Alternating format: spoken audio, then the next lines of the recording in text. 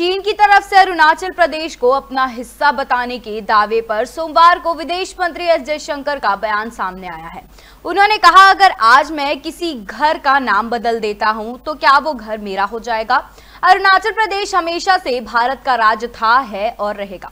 नाम बदलने से कोई फ़र्क नहीं पड़ेगा। दरअसल सोमवार को चीन ने अरुणाचल प्रदेश को अपना हिस्सा बताते हुए वहाँ के 30 जगहों के नाम बदल दिए थे। इनमें 11 रिहायशी इलाके 12 पर्वत, चार नदियाँ, एक तालाब और एक पहाड़ों से निकलने वाला रास्ता शामिल है। वही गुजरात के सूरत शहर में कॉरपोरेट समिट 2024 के दौरान विदेश मंत्री से लद्दाख में चीन के अतिक्रमण के दावे पर भी सवाल किया गया। इसके जवाब में उन्होंने कहा, हमारी सेना लाइन ऑफ़ एक्चुअल कंट्रोल यानी एलएसी पर तैनात है। उन्हें पता है कि कब क्या करना है। देखिए अच्छा है। अगर कोई, मैं आपके घर का नाम बदल दूँ तो मेरा घर बन जाएगा क्या? अरुणाचल प्रदेश, भारत का स्टेट है।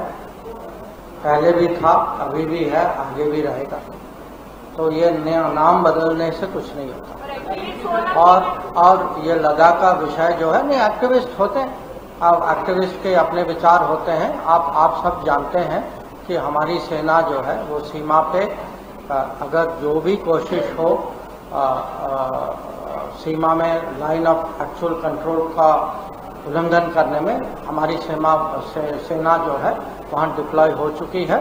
वहाँ उनको जो भी करना है वो जानते हैं क्या करना है।